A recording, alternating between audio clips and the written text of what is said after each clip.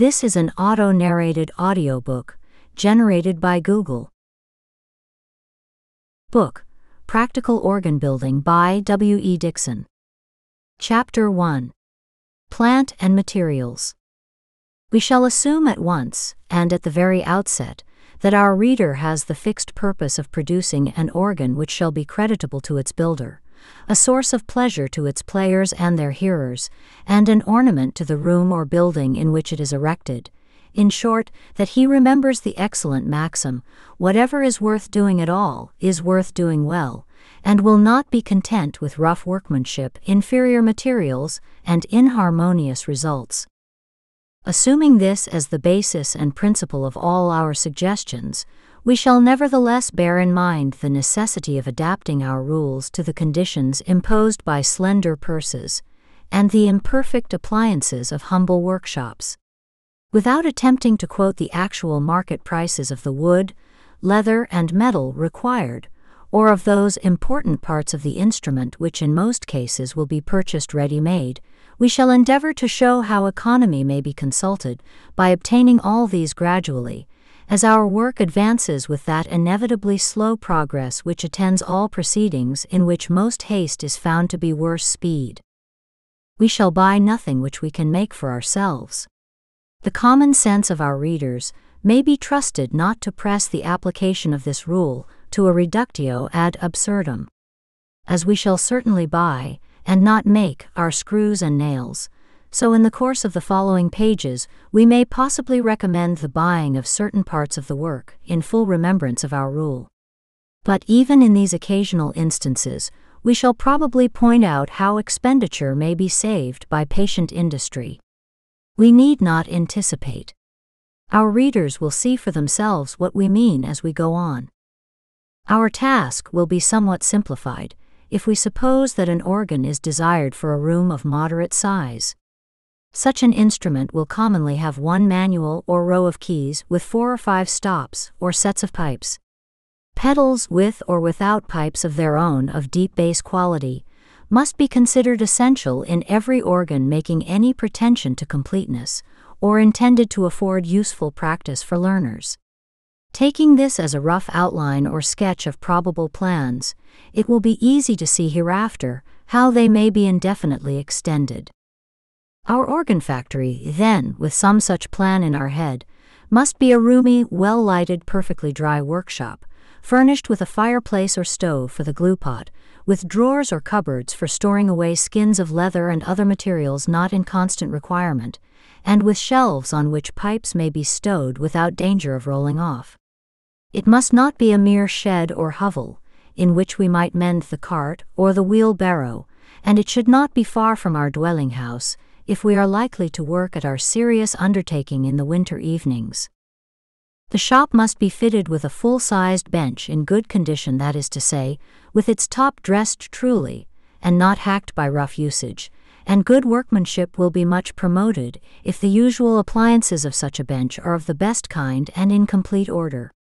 True planing, so vitally essential in organ building, cannot be done upon a crazy or worn out bench.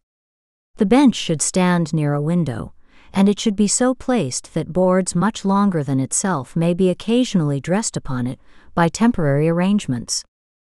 The tools required are chiefly those which are common to every joiner's shop, notably and of first importance the three planes the jack, the jointer or trying plane, and the little smoothing plane.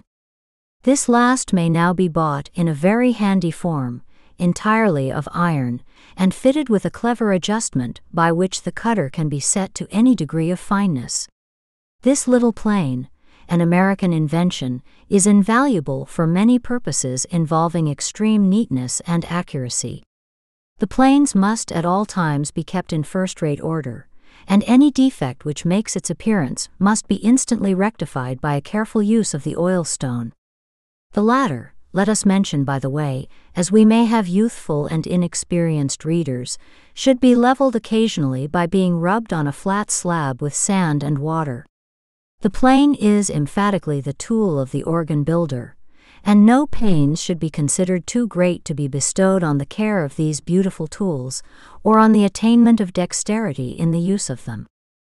The usual saws, the ripping saw, the panel saw, the dovetail, the keyhole or pad saw will be required, and we may take this opportunity of remarking that as the organ builder must have a strong dash of the smith as well as of the joiner in his composition, his shop must have a stout vice fixed in a convenient part of it, and a few good files always available for brass or for iron. The reader is doubtless aware that the same file must not be used for both these metals. Drills for metal, some of them of small clockmakers' sizes with a bow and breastplate for working them, will belong to this department, which will also include a screw plate for tapping wires of various sizes from one eighth of an inch downwards, and cutting pliers or nippers for dividing the wire. The tool chest must contain a thoroughly good brace and bits, and among the last should be some one of the various forms of adjustable center bits for cutting large circular holes of graduated dimensions, up to 3 inches diameter. In connection with this, it may here be mentioned that most of the holes bored with the brace and bits, though not the huge holes just referred to, will be scorched or charred with a red hot iron in order to clear them of splinters and allow a perfectly free passage for the air which will pass through them. A few pieces of iron rod, of sizes suitable for this purpose, will therefore be required. Many of these holes will be also countersunk, that is, rendered conical at their extremity, in order to receive the conical feet of the pipes, which receive from these conduits their supply of wind. This countersunk portion is also scorched or charred, and two or three conical irons will be wanted for this purpose. But we have not yet come to this.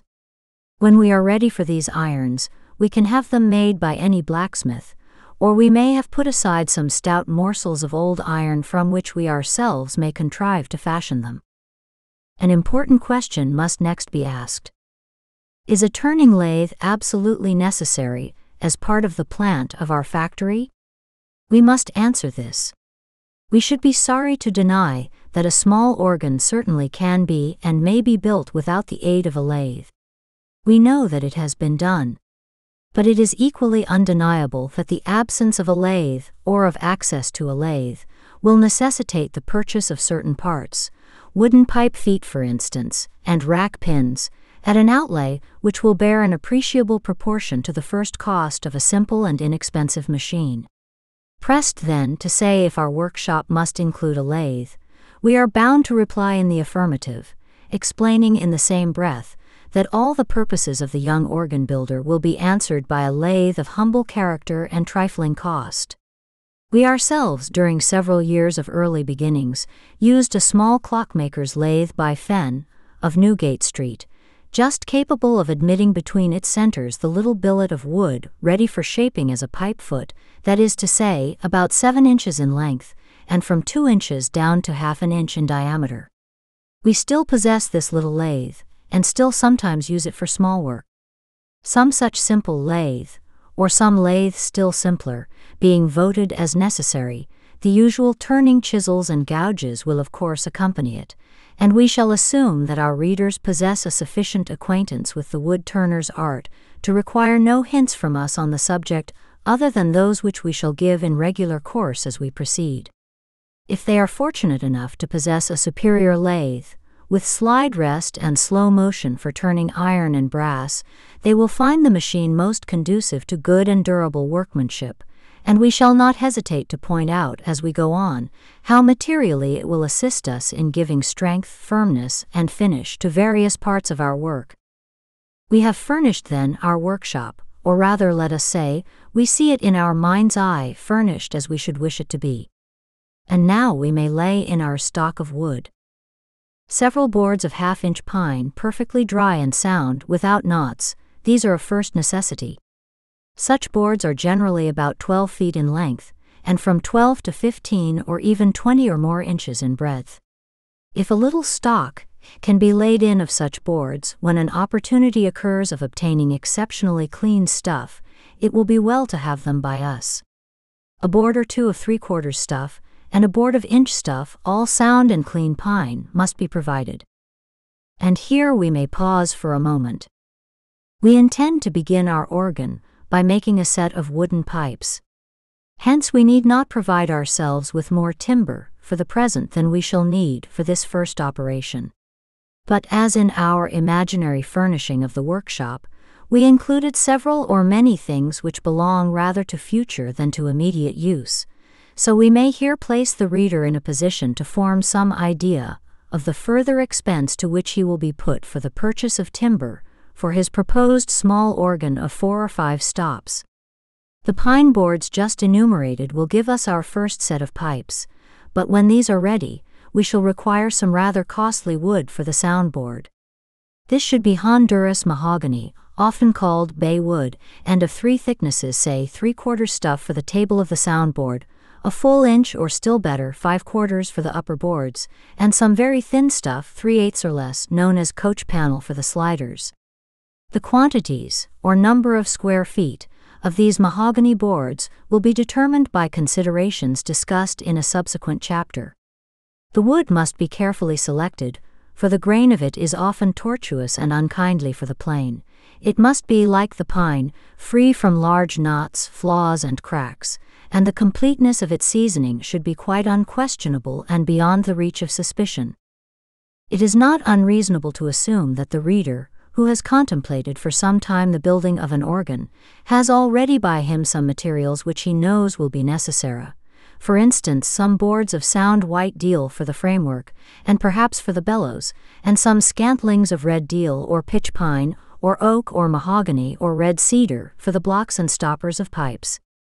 He will not need the aid of this book to be aware that old materials may sometimes be turned to excellent account in such a business as that upon which he is embarking. We have known the purchase, for a pound or two, of an old square pianoforte turn out a profitable investment. Its mahogany top was solid, not veneered, and the thin boards found in its interior dry as touchwood and perhaps 100 years old were made into pipes of charming sweetness.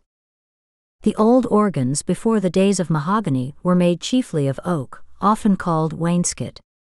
We ourselves have made much use of this durable and trustworthy material, which may be obtained in the convenient form known as Cooper's staves, being planks about six feet in length, as many inches in width, and two or three inches thick.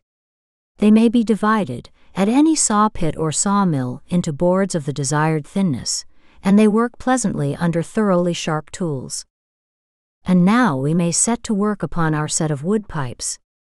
End of the chapter. Chapter 2 The Stopped Diapason. Why do we begin by making a set of wooden pipes? For two reasons. First, because they will afford a trial of patience and involve a great deal of good joinery. Second, because until they are made, or at any rate, until we know their precise dimensions, we cannot plot out with accuracy the very important soundboard, which is to carry them, and the other pipes which are to follow.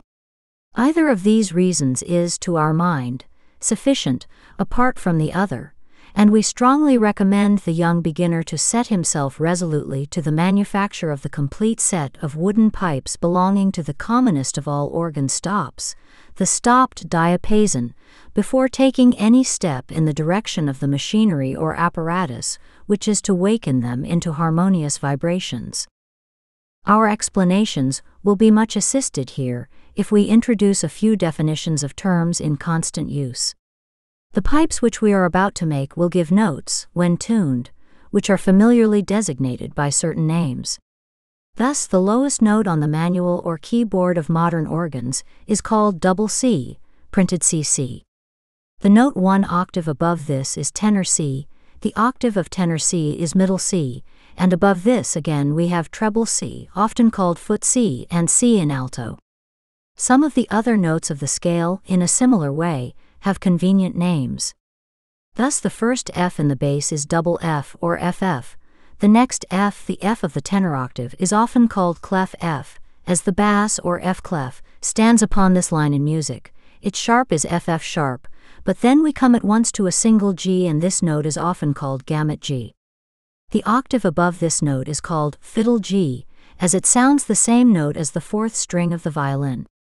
The note B, we may add, throughout the organ, is understood to mean B flat. The semitone above this is indicated by the musical symbol, the natural.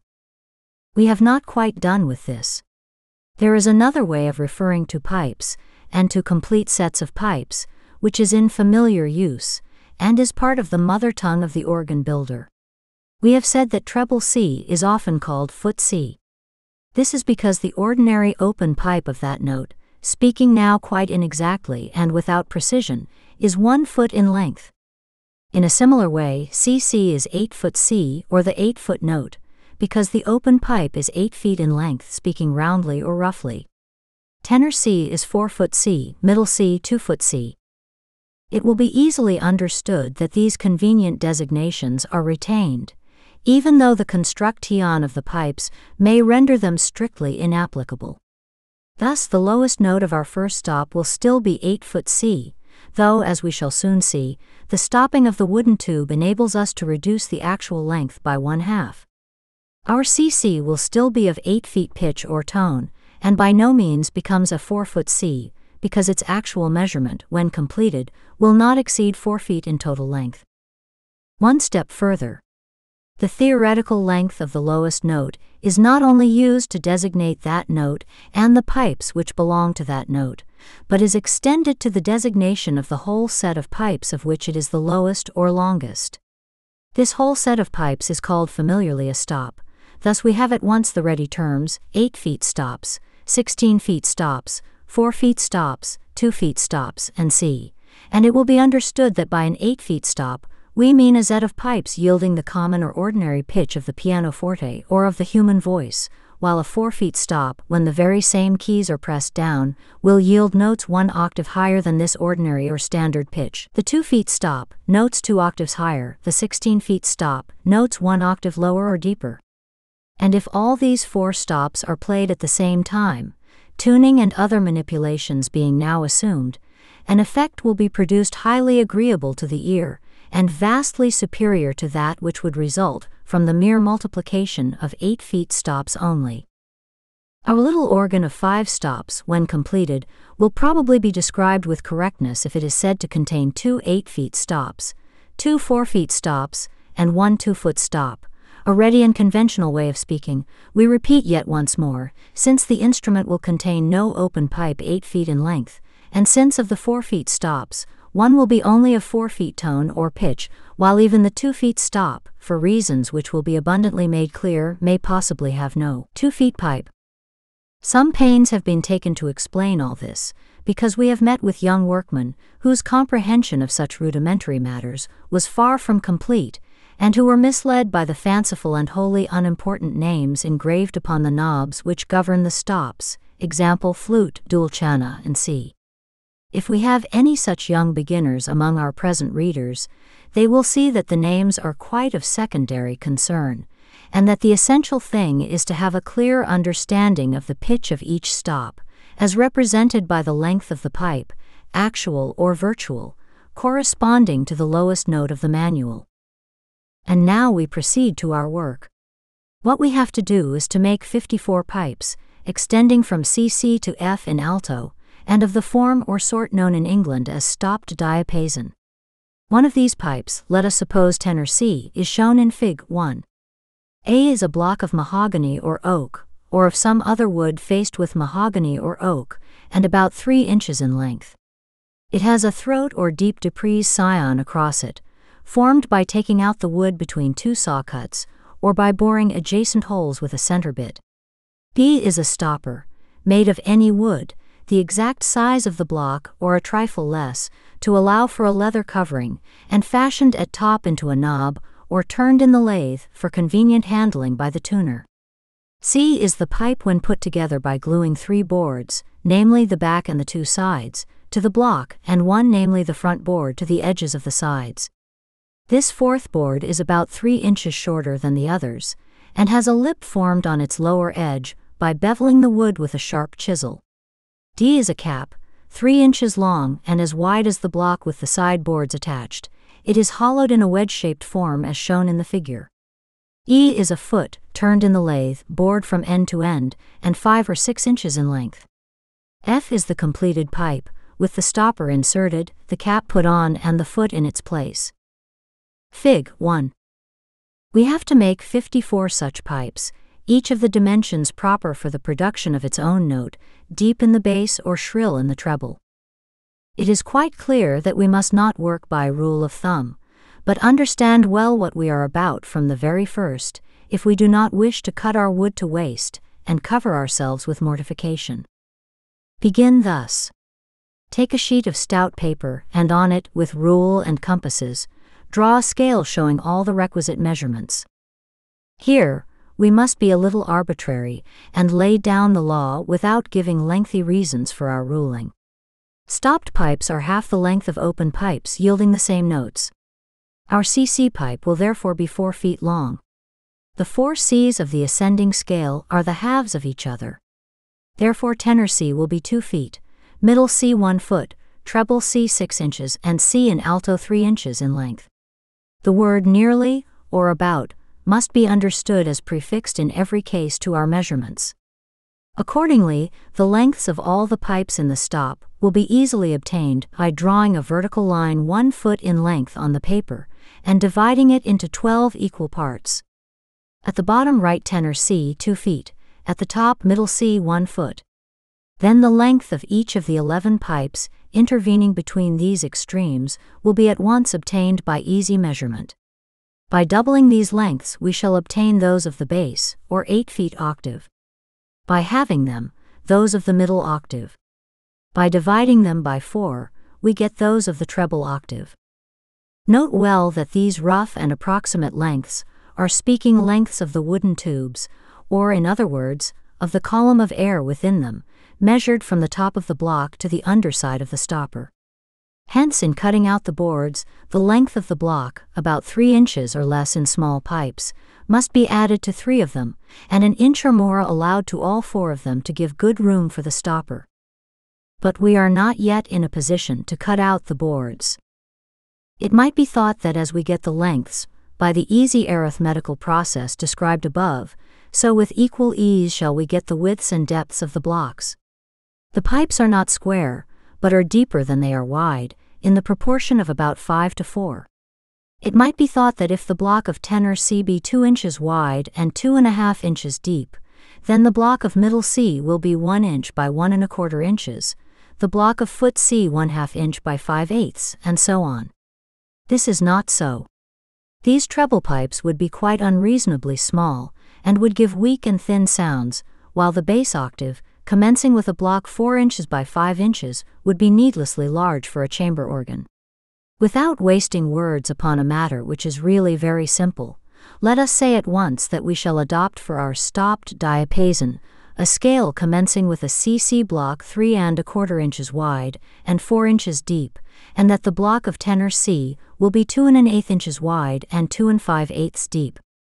Thus, the half of the width and depth of the CC block will not be reached until the 18th note above it, instead of the 13th, and in the higher parts of the scale, the diminution in the sizes of the blocks may be yet more gradual.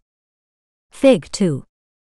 A glance at Fig 2 will enable our readers to draw scales for themselves for the stopped diapason and for other wooden stops which may follow it, from a few given data and to suit CIR circumstances.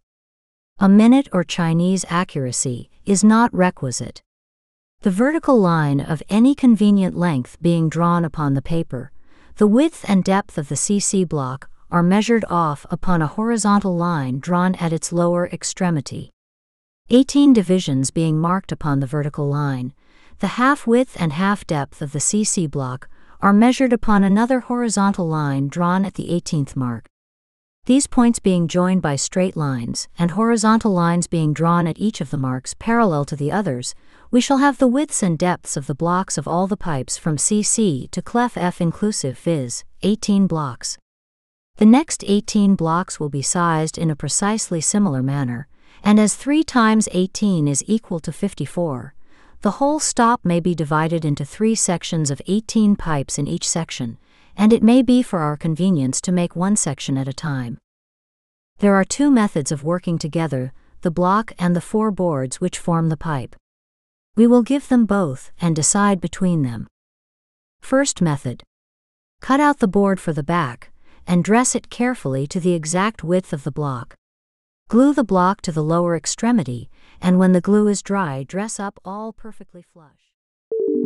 We hope you enjoyed this preview. To continue listening to this audiobook on Google Play Books, use the link in the video description.